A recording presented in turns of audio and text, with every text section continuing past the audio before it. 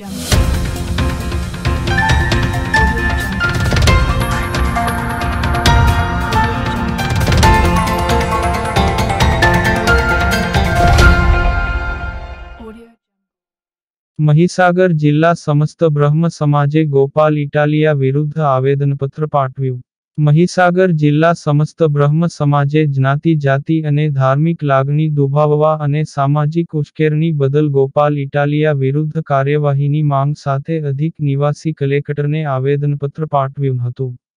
આવેદનપત્ર પાઠવવા મહીસાગર જિલ્લા સેવા સદન ખાતે સાગર પંડ્યા, ગોપાલભાઈ, નિખિલભાઈ, અનિલભાઈ, પ્રશાંતભાઈ સહિત અગ્રણીઓ જોડાયા હતા.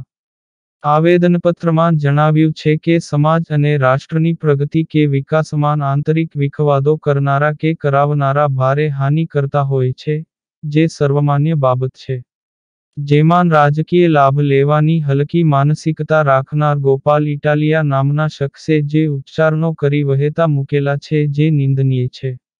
બ્રહ્મ સમાજની રજૂઆત છે કે હીન અને અભદ્ર જેવી લાગતી ભાષામાં કોઈપણ ધર્મ પક્ષ કે સંપ્રદાયની વ્યક્તિ કે અનુયાયી વાત કરી ન શકે તેટલી હલકી ટિપ્પણી દ્વારા માત્ર બ્રાહ્મણ કે સાધુ જ નહીં, સમગ્ર સનાતન હિન્દુ સંસ્કૃતિ સાથે દુર્વ્યવહાર ભર્યા આચરણનું દુઃખ છે.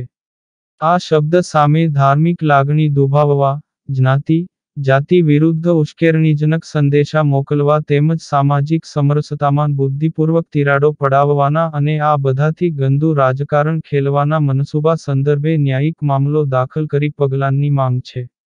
અરાજકતા ફેલાવ્યા અંગે દંડ સજા તેમજ યોગ્ય જગ્યા પર માફી મળે તેમ થવું જોઈએ જે સમસ્ત બ્રહ્મ સમાજની ભારપૂર્વકની માંગણી રજૂઆત છે. જો આ અંગે સંતોષકારક ન્યાયિક પ્રક્રિયા આગળ નહીં વધે તો લડતનો માર્ગ અપનાવવાની ચીમકી ઉચ્ચારી છે. મહીસાગર જિલ્લા તથા છ એ છ અમારા તાલુકા, આખા જિલ્લાના કર્મકાંડ ચેરિટેબલ ટ્રસ્ટના સભ્યો તથા સમસ્ત બ્રહ્મ સમાજ તરફથી આજે કલેક્ટર સાહેબને તારીખ ચૌદના રોજ આવેદનપત્ર આપવામાં આવ્યું છે.